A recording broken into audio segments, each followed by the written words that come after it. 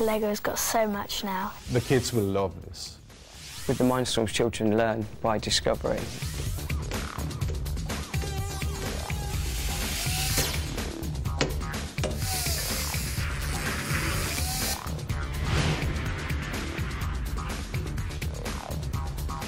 Children spend so much time writing out sums, writing out essays, listening to the teacher, but actually doing something with what they're learning, they don't get a chance to do that. So this enables them to do that in the school environment. I think that's quite unique, actually.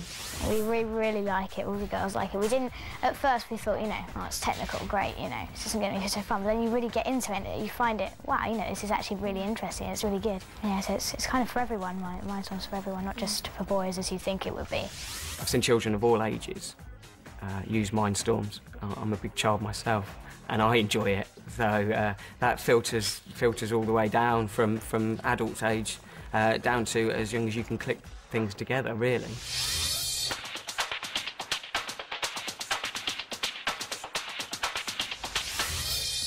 Okay, guys, if you just stop what you're doing and listen to me, please. I'm going to set you a challenge. It's going to be in competition with the other group. So it's the first one to do it. We're going to start here. I'm going to make up a programme in these four, five stages here. We're going to get him to drive along forwards and come down to this position. We're going to turn a sound on there. And when the sound's on, I want you to reverse the robot back and I want you to stop him in between the two oranges. The challenge is set up over here on the table. It's going to be the first team to complete it wins. Right, off you go then.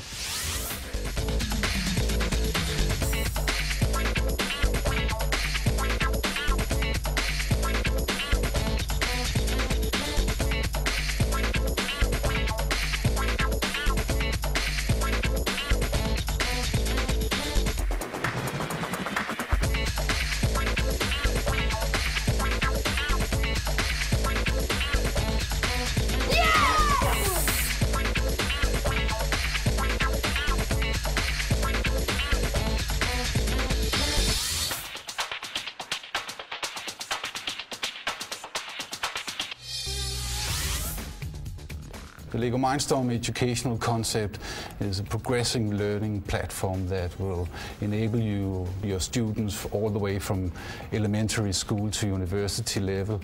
As you can see also, it is extremely appealing in its design. It looks like everything we know from real robotics world. It's a contemporary design.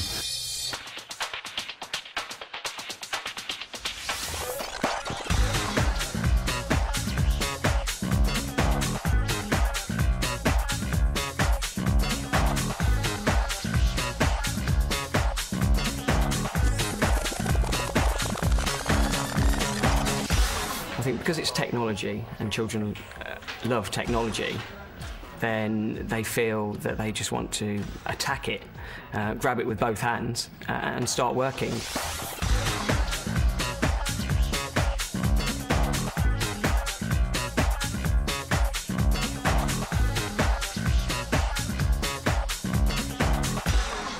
The brighter children will push further with what type of construction they add, how complicated their programs are getting. Whereas children who perhaps aren't as academic, um, they will still be able to achieve a basic level of programming, a basic level of construction.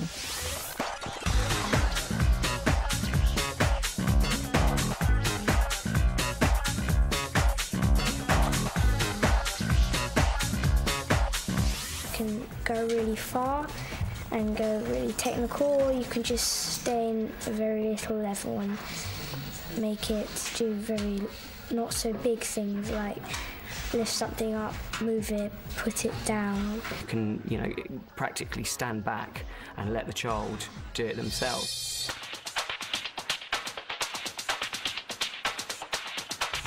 The model used in the Robot Educator has, as you can see here, a motor attached to the side, a motor module attached to the side, where you actually can spin this to kick off a ball or any other obstacle. The ultrasonic sensors that sit on the top as a, as a head will enable you to read distances toward any other obstacle. The sound sensor that we have on the side is where you will get a reaction. The improved light sensor we have here will read different level of lights and tell you maybe whether you meet a red or a blue obstacle. So first of all, you want it to move forward, use the ultrasound sensor, the light sensor, and then hit the ball. Okay, go for it.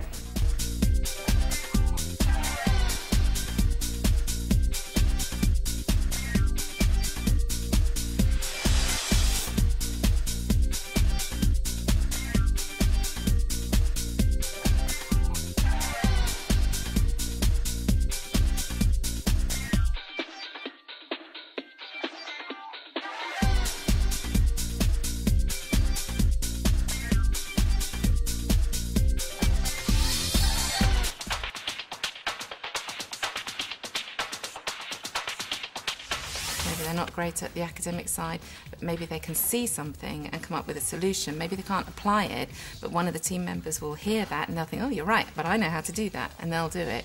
And that's where the teamwork comes in. I've always wanted to be something to do with engineering or a patent agent, things like that to do with engineering. Now, having the Lego, it's made me really more interested in how it works. I think it has enabled some children in the classroom to shine, really have an opportunity to shine and stand out amongst their peers, which is really important that you get some street cred. It's very rewarding as a teacher seeing them enjoy themselves, seeing them get results that they're happy with, seeing them uh, answer problems that you've set them, uh, and, and seeing them just build things that they want to build.